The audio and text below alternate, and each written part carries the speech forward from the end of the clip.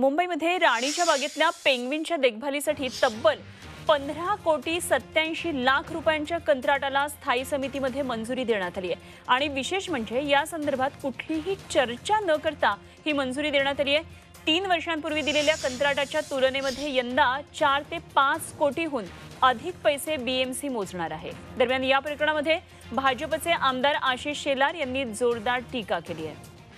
सोळा कोटींच्या या प्रस्तावाला बीएमसीने मंजुरी दिली आणि विशेष म्हणजे कुठली चर्चा यावर झालेली नाहीये. आणि त्यामुळे अर्थातच भाजपचे आमदार आशिष शेलार यांनी जोरदार टीका केली आहे. बहिणाबाईंची जात्यावरची ओवी म्हणजे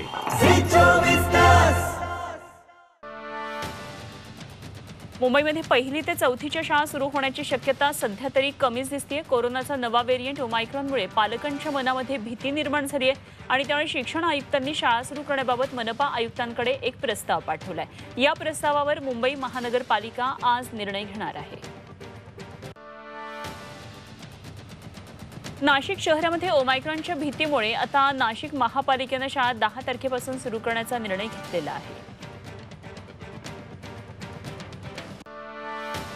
पहिली ते चौथी पर्यंतच्या शाळा सुरू करण्याबाबत पुण्यात सुद्धा संभ्रम आहे. शाळा सुरू करण्याबाबत राज्य सरकारचे आदेश अद- अजूनही मिळालेले नसल्याचं पुणे मनपानं म्हटलंय.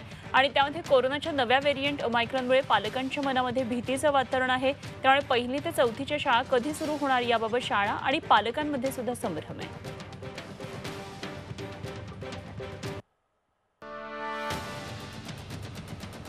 ओमायक्रॉनचा फैलाव झाला तर परिस्थिती आणखी धोकादायक होणार अशी चिंता डब्ल्यू एच ओनं व्यक्त केली आहे. ब्रिटन ऑस्ट्रेलिया जर्मनीसह तेरा देशांमध्ये ओमायक्रॉनचा फैलाव झाला. एक वॅक्सिन हे किती परिणामकारक ठरते यावर अभ्यास सुरू असल्याचं डब्ल्यू एच ओनं म्हटलं आहे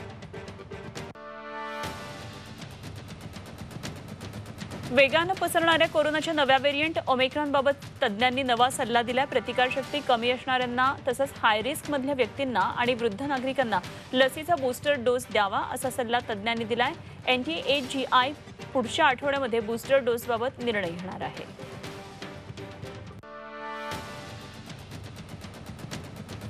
दक्षिण आफ्रिकेतून पुण्यामध्ये आलेला एका प्रवाशाला होम क्वारंटाईन करण्यात आलं. या प्रवाशाची आरटीपीसीआर टेस्ट केलेली आहे आणि आता त्याच्या अहवालाची प्रतीक्षा आहे.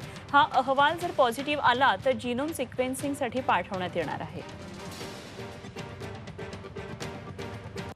लोहगाव विमानतळावर उतरणाऱ्या सर्व प्रवाशांची आरटीपीसीआर चाचणी ही बंधनकारक करण्यात आली आहे. गेल्या चार ते पाच दिवसामध्ये विमानतळावर उतरून जिल्ह्याच्या विविध भागामध्ये गेलेल्या नागरिकांचा शोध घेऊन संबंधितांची आरोग्य तपासणी करण्याचे आदेश दिलेत.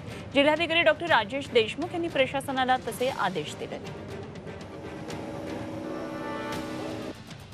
ओमायक्रॉनच्या पार्श्वभूमीवर महापौर किशोरी पेडणेकर आणि उपमहापौर सुहास वाडकर यांनी मुंबई विमानतळाची पाहणी केली आणि परदेशातून येणाऱ्या प्रवाशांची कशा पद्धतीनं तपासणी करण्यात येते याची पाहणी करून योग्य ते निर्देश त्यांनी अधिकाऱ्यांना दिले.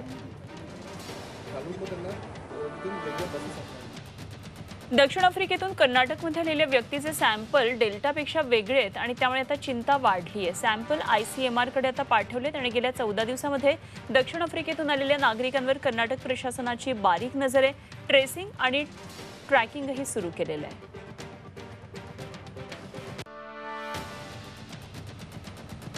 जगभरामध्ये ओमायक्रॉनचा प्रसार होतोय. रुग्णसंख्येमध्येही वाढ होताना दिसतीये. अनेक देशांकडून आफ्रिका विमान आफ्रिकन विमानसेवांवर आता बंदी करण्यात आली आहे जगभरात आतापर्यंत सव्वीस कोटीहून अधिक जणांना कोरोनाची लागण झाली आहे पन्नास लाखापेक्षा अधिक रुग्णांचा मृत्यू झालेला होता. हॉलंडमध्ये रविवारी तेरा रुग्णांना नव्या व्हेरियंटची लागण झाली आहे